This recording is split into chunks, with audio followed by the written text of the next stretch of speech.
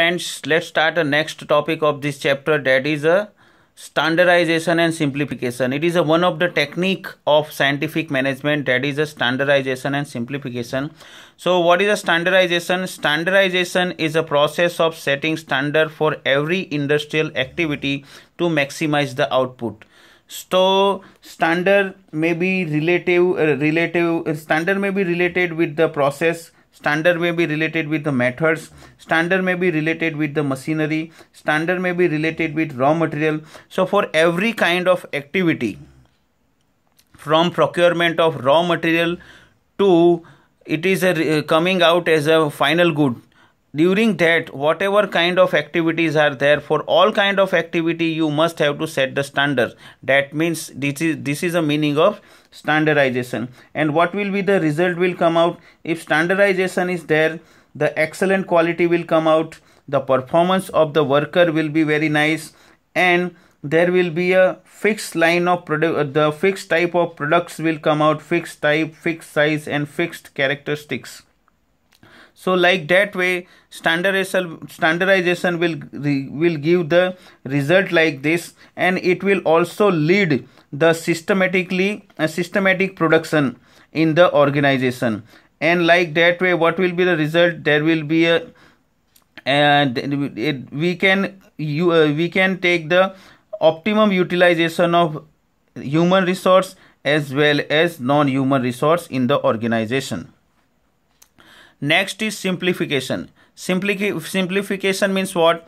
Elimination of unnecessary diversity of product sizes and varieties.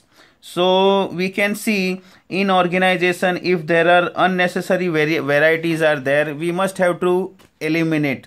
We can see in the case of apple company apple company is what they are doing the unnecessary models which are not popular they are stopping the production of that model.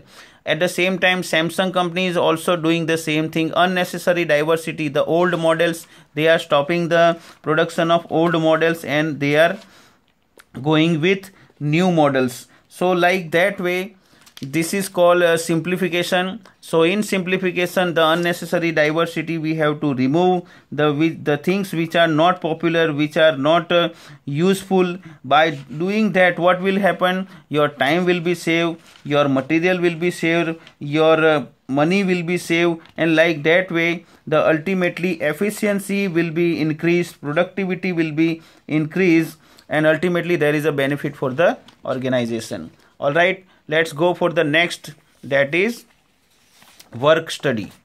Now here the work study this study was conducted by fw taylor to eliminate unnecessary unnecessary movements unnecessary uh, actions or unnecessary things in the production. So when he was working as a engineer at that time he has conducted this four kind of study to set a standard or to improve the efficiency of workers. All right let's try to understand one by one. First is a method study. In this uh, in this study what they are finding out in this method they are try to find out the best method. For every kind of activity there is one best method and this base method we have to find out while doing the method study. So before starting the production or before starting the job what we have to do we have to find out the one best job of doing that particular job so why? Because F.W. Taylor was believing that there is always one best method to perform the particular job, and that partic- that best method we have to find out in this study, in this observation, and in this analysis, and afterwards we have to apply them for the production. So if this thing will happen what will be the result will come out. Result will come out that there will be less wastage. There will be no wastage of uh, no wastage of uh, uh, no wastage of raw material. The cost will be uh, cost will be reduced and it will maximize the quality of goods and by that way it will also increase the satisfaction of the consumers. So like this way we have to find out the best way of production so it may be the best way in the self if we're for the every kind of activity we have to find out the best way. It may be for the transportation of the goods. It may it may be for the inspection. It may be for the storage. It may be for the raw material. So for every kind of things he has to find out the best way how we have to do this job or do this task. All right so like this way in this method they are trying to find out the best method. Next is a motion study. Motion study means what? Motion study means uh, we have to uh, study. Like uh, motion study means motions are there. What kind of motions are there? Like lifting standing sitting or changing posture so all the time we are doing the movements. So specifically when you are doing some job at that time what kind of movements you are doing? That they are studying. And in this movement there are three kinds of movements are there. Uh, first is uh, like uh, we can say productive movements are there unproductive movements are there incidental movements are there. So in this study they will remove the unproductive movements. So here uh, he has proved also because when fw taylor was there at that time he they were studying the brick lying. Uh, brick lying uh, uh, they were observing the how the bricks are lying lying. At that time they have due, due to this study they have removed the movements from 18 to 5 and like that way they have saved the time of performing the job and it will also reduce the it will also reduce the cost and ultimately there was a benefit for the organization. So like that way what we have to do here we have to find out the unnecessary movements and that unnecessary movements we have to remove them. And like that way ultimately the worker will be get benefit and the organization also will get the benefit. Next is a time study. As a time study in this time study what is happening for they will they are determining what they are determining. They are determining the standard time for the each kind of job. And in this if uh, any person is uh, uh, any person is not able to achieve this means he is not performing the uh, job on time. At that time they also have to take the corrective action so here in time study what they are trying to find out they are trying to find out the standard time required to perform the job. So when they are doing this study they find out what uh, how much time is required how much standard time is required to perform the job. And while doing this they are taking the reference of reasonable uh, the, uh, means uh, the normal person they are they what they are taking they are taking the reference of normal worker not very efficient worker or worker or not very less efficient worker.